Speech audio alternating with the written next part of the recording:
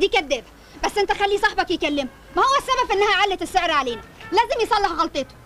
غلطته؟ صباح الفل يا سيكا. أهلا. وكمان مقموص. ليك حق. ما انت بتزعلني وكمان بصالحك. شفتش لاز أكتر من كده؟ هو مين جوه؟ أمي. فين؟ قاعدة بتتفرج على التلفزيون. قولي بقى يا سيد انت إيه اللي مغيرك من ناحية الشقة دي؟ يا أخويا زعلان على الشقة تغور في 60 داهية بس ما تعملش كده ولا تعمل في نفسك كده خالص. في إيه؟ يعني لو قلت لك مش هتعملي لي شبورة عكنانه وتنكدي عليا وتخليني أمد إيدي عليكي؟ أنا يا سيد مش هعمل حاجة خالص. هتفهميني؟ طبعا. طب احلفي. طب ورحمة أمي؟ إن شاء الله يا رب يفرمني ترماي ما أنا عاملة حاجة. أنت كدابة يا بت ترومايه إيه أنت بتشتغليني. هو في ترومايات دلوقتي بتحلفي عشان تبقي في السليم ها؟ لا عايزه تحلفي بجد بقى؟ قولي إن شاء الله يفرمني مترو الأنفاق. طب ورحمة أمي؟ إن شاء الله يا رب يفرمني متر الأنفاق بتاع عبد العزيز فهمي والنزهة والمرغني ما أنا عاملة حاجة. وأنت إيه اللي هيوديك مصر الجديدة من ورايا؟ لا لا لا بتضحكي عليا. احلفي يفرمك متر الأنفاق اللي هو بتاع شبرا بتاعنا. طب ويا رب يفرمني متر انفاق شبرا ما أنا عاملة حاجة. قول يا سيد بقى. بصراحة عاطف كان شايف الشقة قبل مني. وانت عارفه عاطف بيكبر في السن وأنا نفسي اشوفه متجوز وخلاص يعني. فانا سبت له الشقة. بتقول إيه؟ سبت له الشقة. يا لهوتي! الحقيني! الحقيني يا مسيد شوف ابنك ابن المجنونة! يا لهوي ما تحلفش واحدة ست ابدا.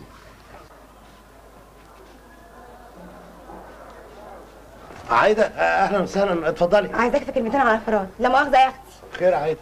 انت أخي عايز مننا إيه؟ حرام عليك اتقي الله فينا شوية. انت مستكتر على سيد حتة الشقة اللي هنتجوز فيها؟ ده انت حتى متوظف وربنا فارجها في وشك. اداني عادي؟ حتة ميزان غلبان؟ اتقي الله فينا بقى شوية. حرام عليكم حرام عليكم إيه بس تقولي ده؟ الشقة دي بتاعتنا وإحنا اتفقنا عليها وتقريبا خدناها. إيه اللي هتقعدوا تسكنوها تتهنوا بيها يا بعيده لا مش كده عايده يلا يا عاطف أنا مش عارفه أتكلم مع واحدة شرشوحة زي دي. لا لا مش مش للدرجه دي. اي اي اي أنا غلط كده عايده بنت إيه يخرب بيكم كله جاي فيا أنا يا عايده عيب كده. آه كده يا بنت عيب كده اي اي اي عايده يخرب بيك عيب كده عايده إيه اللي بتعمليه ده؟ اقف هنا. إيه اللي بتعمليه تصدق أنا كان قلبي حاسس انك هتعملي كده. خلاص أنت لازم تقطع علاقتك بالناس الواطيه دي. قول واطيه بالناس بعدين؟ واطيه هي مش هترد عليها عاطف. أنا ممكن أرد عليها بس مش عايز أتكلم عشان وقفتك. أصل عايده أصل؟ أنت لسه هتقول لي أصل؟ عماله تلبخ وتقول لي اصل. قدامي.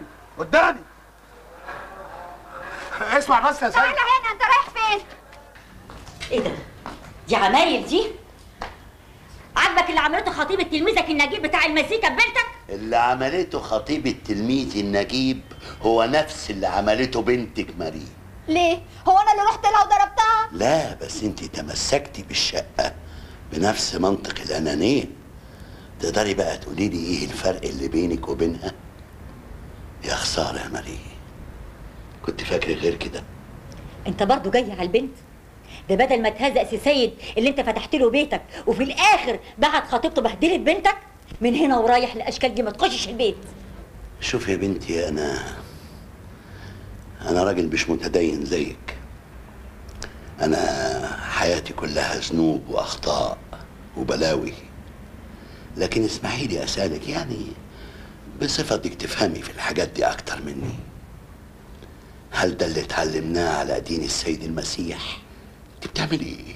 بابا الشقة دي من حقي وأنا اللي شفتها الأول وأنا اللي هاخدها. وهو برضه خطيبته من رأيها إن هم اللي شافوا الشقة الأول. والسؤال هنا بقى مش مين اللي شاف الشقة الأول ومين اللي شافها التاني؟ السؤال هو مين اللي بيحب أكتر بالتاني مين اللي عنده استعداد يضحي أكتر من التاني؟ للأسف يا بنتي إحنا إحنا في زمن الناس بتفتكر الإنسان اللي بيضحي ده إنسان عبيط أهبل ضعيف. ليه أنا اللي أضحي؟ ليه أنا دايما اللي لازم أضحي؟ لأن يسوع علمنا كده. يا تسوني ماري يا خادمة الكنيسة.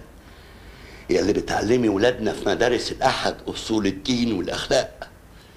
ولو إن كل الناس لو عملت زيك الدنيا دي هتبقى غابة وحوش بتاكل في بعضيها. أنا عمري ما باخد الحاجة اللي نفسي فيها. كل حاجة في حياتي مش عاجباني. دراستي ما كانتش عاجباني. شغلي مش عاجبني.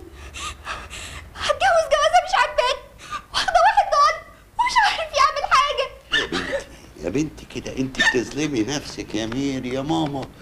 يا ماما صدقيني خطيبك بيحبك أكتر من روحه. بس انت مش حاسة. تعرفي انت مش حاسة ليه؟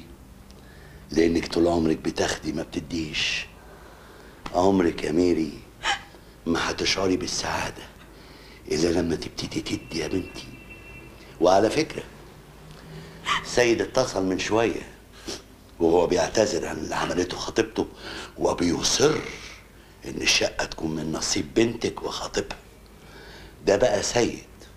سيد اللي انت عايزة تطرديه يا هانم. آه يا خبتي يا بختي الأسود يا بختي الأسود. إحنا هنقعد نلطم كده طول النهار؟ بص الكلام اللي أنا قلته ده كلام نهائي ومفيش راجعة فيه. أنا ذنبي إيه يا سيد؟ حد قال لك ليكي ذنب؟ تعمل فيا كده ليه؟ يرضيكي يا خالتي؟ يا لهوي ياما يا لهوي ياما بس يا حبيبتي بس يا حبيبتي كفاية. على عيني يا بنتي أنا حاسة بيك. أنا كمان كان نفسي أفرح بيك أنت وسيد. يرضي مين يا رب ده. يرضي مين ده يرضي ربنا. بعد ما تقدر نلاقي الشقة تضيعها بكل سهولة. يا بنت ماشي بقى. عملت ايدي عليها ياما معلش يا ابني. معلش يا حبيبتي. المعروف ما بيروحش ابدا. وإن شاء الله ربنا هيكرمكم وتلاقوا غيرها المشمش إن شاء الله. يا خالتي ده مش هين عليه زعلي ده مبقي صاحبه عليا. يرضي مين ده يا رب؟ يرضي مين؟ احضرنا يا أبو سيد. عايدة هتموت نفسها من العياط. حرما يابا. جمعا يا ابني.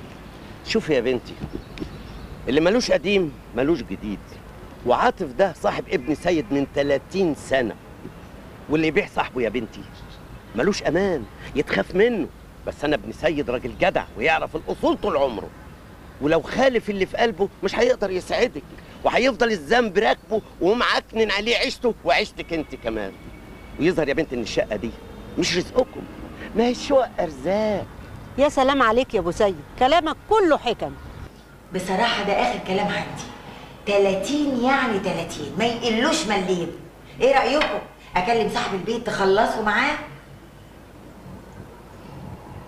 ماشي. دقيقة واحدة أكلم صاحب البيت. عاجبك كده؟ يعني لو كان صاحبك كلمها ما كانش ما حصل؟ كلمها يا ميري. صدقيني كلمها. أستاذ عاطف لو سمحت تليفون. أنا قاعدة. صاحب البيت على التليفون. اتفضل. أهلا وسهلا.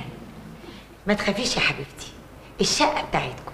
والله لو جاني فيها إيه ما هديها لحد غيركم. أنا والمسيح قلبي اتفتح لكم من أول ما شفتكم.